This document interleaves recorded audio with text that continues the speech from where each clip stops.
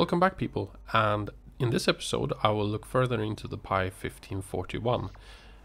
Because before I can get any further with the pile of Commodore 64s, I'm going to need a way to get files off the internet onto the Commodore. And I talked in the previous episode about my decision to go with the Pi 1541 emulator that runs on a Raspberry Pi. And in this episode we're going to build a hat for the Raspberry Pi and I'm also going to well, try to explain why I believe the Pi 1541 software is one of the best implementations of embedded use of the Raspberry Pi. I really think Steve White has done everything right with this project, and there is also a lot of people benefiting from his work by creating hardware and kits for uh, people to build their own Raspberry Pi hats and such.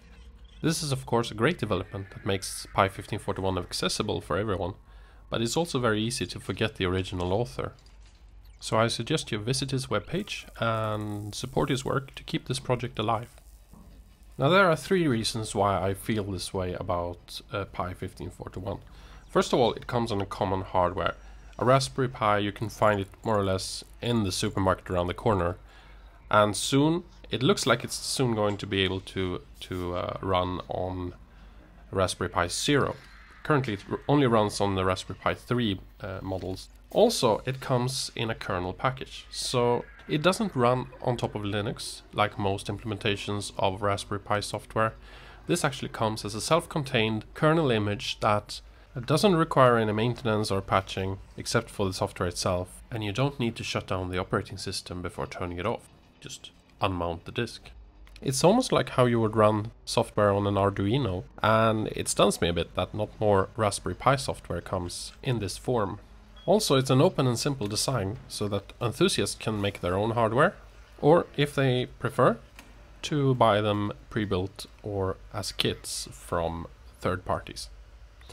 And I got this um, Raspberry Pi hat kit from Ribit. It's a Swedish company. I previously mentioned them in the Schneider Euro PC restoration. And it's available as a pre-built or as a kit. And the kit is a lot cheaper than the pre-built one. And everything is surface mount, so I'm going to explore a little bit how difficult it is to put it together and show you how I work surface mount components with a normal soldering iron.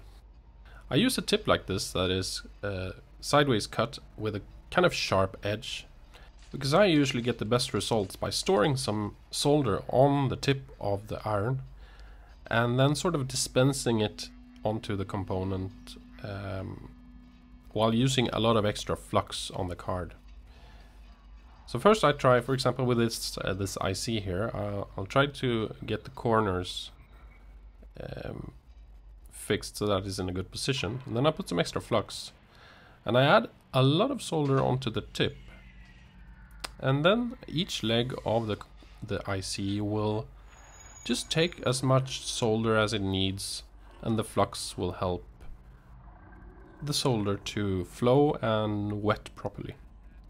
And I will show you the result later and I think this this in my opinion is the easiest way to solder surf surface mount components with with just a normal soldering iron. Same in this side I put some extra I put a lot of solder on the tip and then I just bump each little leg and let it suck up as much solder as it needs. And it's just, it just adjusts itself. I, I don't really have to do anything.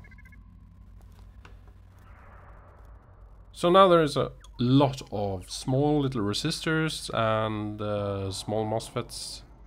And I usually work these with a little bit different method. I put tin solder on the first pad for the component and then I add it in with tweezers and let it uh, find its position properly uh, just by soldering one side of the component or one leg of the of the trans transistor. And then I solder the other side or the other legs using the method I did with the IC uh, this all requires a lot of extra flux, but I think it all in, in surface mount work, extra flux. I mean, there is no there is no amount of flux that is too much. Alright, um, well, I won't comment all the time. Uh, this is gonna take a while. Oh, I can put some music on.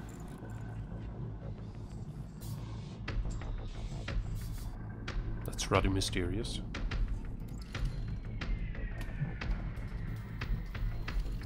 I believe the most challenging part of this build is actually these transistors here. There are four of them. And in many other Pi 1541 kits, this actually uses a ready-made module for the transistors. But the Ribit implementation has them as components on the main card.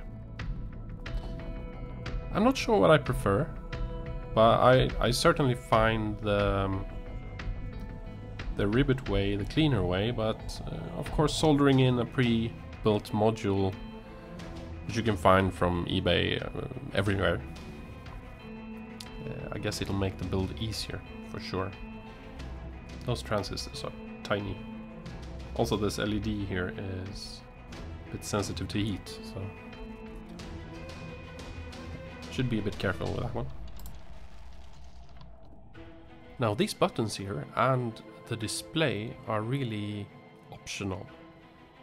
Uh, they do make it a lot easier to control the, the Pi 1541, uh, so you don't have to go into, for example, the, the file browser application or to connect a screen or a keyboard to the Raspberry Pi. And the buzzer is also optional and the jumper that enables the buzzer. But it's quite difficult to tweak the sound into something that is actually, well, acceptable at all, so now, to be fair, off, off is the right setting. Definitely. Some Pi 1541 cards actually have two connectors. Uh, but this one only has one. And it matters if you want to uh, chain it with, with another drive. I suppose you can always chain it through the other drive then. Here's the first obvious drawback of using the large tip on the soldering iron. I can't really reach these pins for the uh, LED screen. Um, but it'll do. It works. And it's done.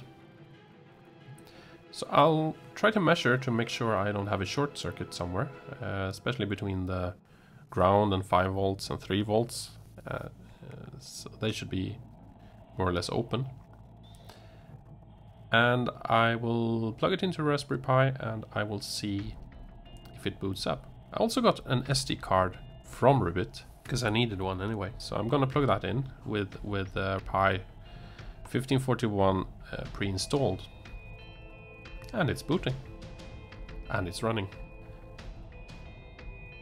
It's time to remove the screen protector. Excellent.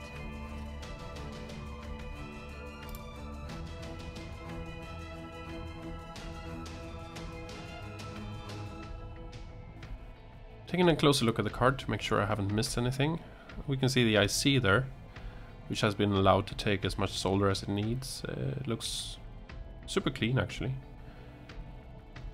The resistors, they have a little bit too much solder on them, but there's nothing uh, there's nothing that would cause any trouble at this point. The resistors and the transistors, they, they look fine over there.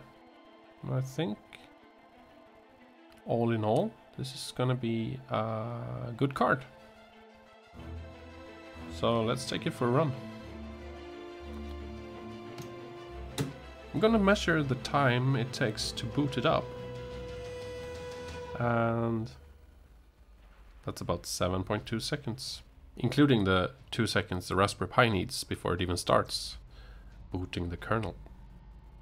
So now I have another tool that I need to continue the work on the pile of Commodore 64. This is Exhibit C, and when we previously looked at it, uh, I had just swapped over the CIA chips uh, from one side to the other to uh, troubleshoot uh, whether or not one of them was broken. And we could see that it was obviously broken. And in the mail the other day I got this package, which is actually a new old stock, I think. It could have been socketed, of course. Um, 6526A CIA chip. So I'll replace it and get back to you in the next episode with a full repair of this one. Please subscribe and check out my Patreon below. Wow, this one is really stuck.